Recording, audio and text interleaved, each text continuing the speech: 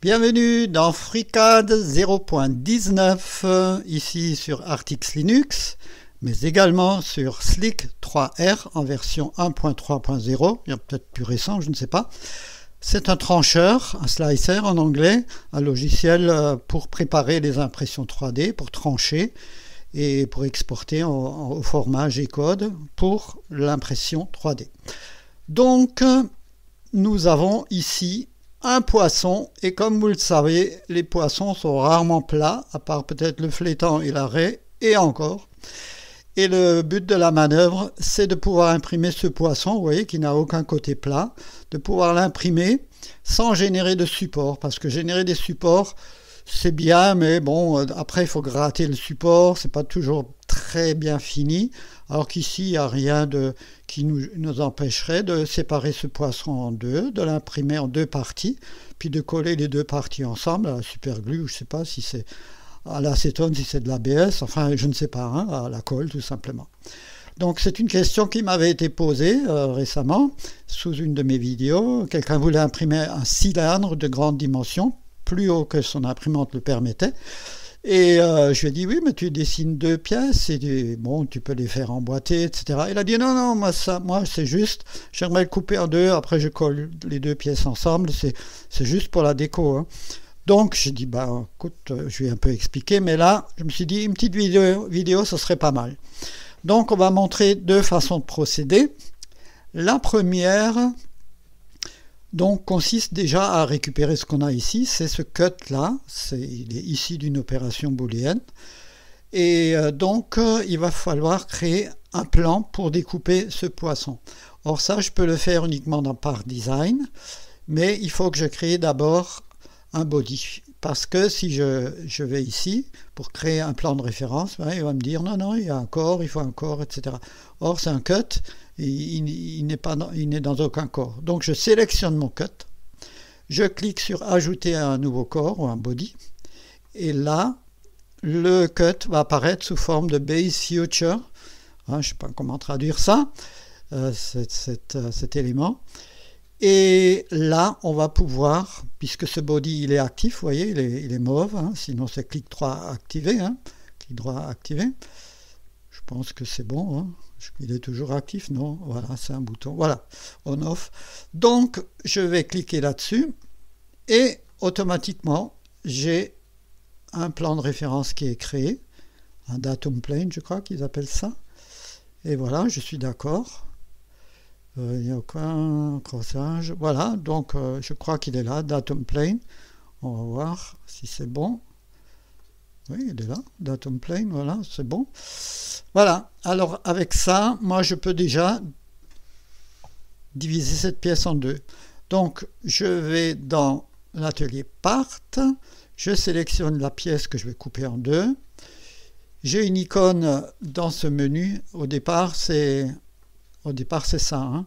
j'ai une icône qui s'appelle séparer ou exploser, mais on peut aussi faire la chose suivante, donc je, sépare, je clique sur ma pièce que je veux je vais couper. Ah oui, j'avais oublié avec contrôle maintenu de sélectionner le datum plane. Sinon, lui, il veut pas. Hein. Donc, j'ai les deux qui sont sélectionnés. Hein. Mais d'abord le poisson et ensuite le datum plane. Hein. Je vais dans pièces, scinder, slice apart. Ici, c'est en anglais. Voilà. Et mon poisson, il est en deux pièces.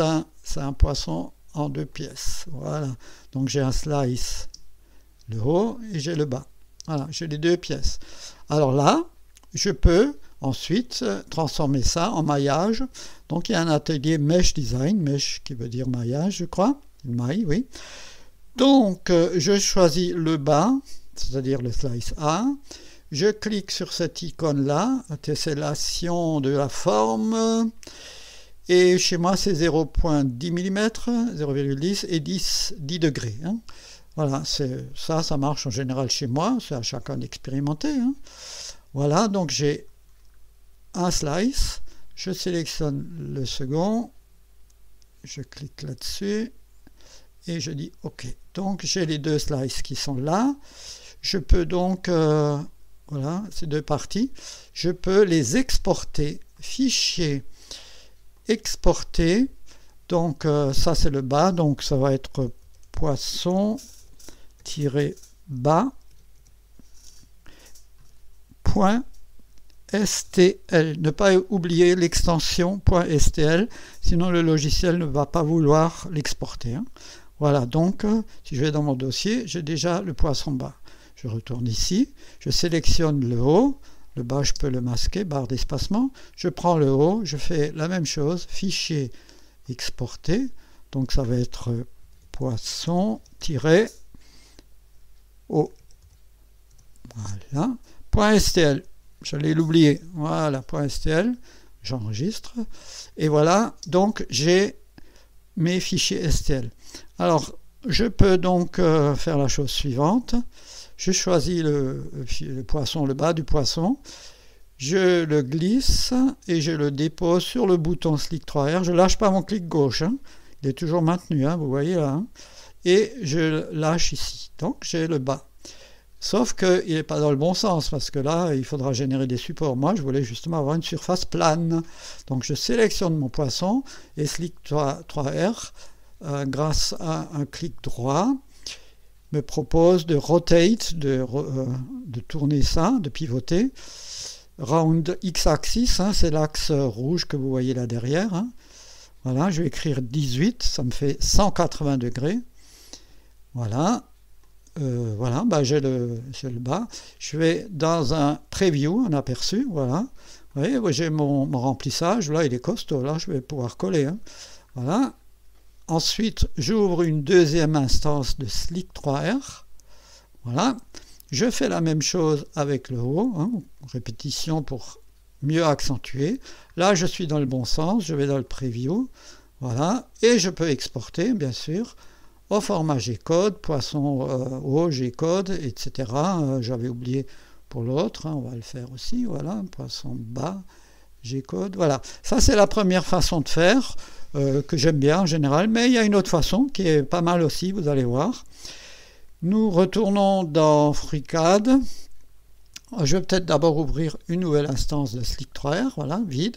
Je vais dans FreeCAD et là je vais faire réapparaître mon premier cut que voici, barre d'espacement. Et ce cut, je vais en faire aussi un maillage dans l'atelier Mesh Design, hein, toujours, voilà, avec mes réglages précédents.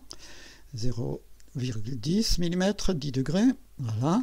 J'ai un cut que je vais exporter au format STL, donc poisson, oups, 2S, le poisson, jusqu'à nouvel ordre, poisson, poisson tout court, hein, oui, avec mon micro devant les yeux, euh, STL, voilà, j'enregistre.